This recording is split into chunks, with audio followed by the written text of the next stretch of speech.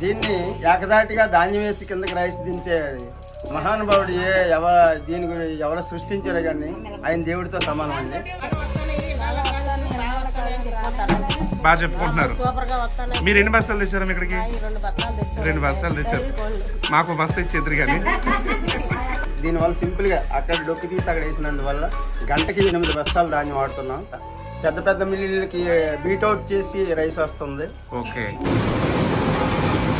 ఎనభై కేజీలకి ఇప్పుడు యాభై కేజీలు ఫ్రంట్ దించినట్టు సరికి వస్తుందండి. వస్తుంది అనమాట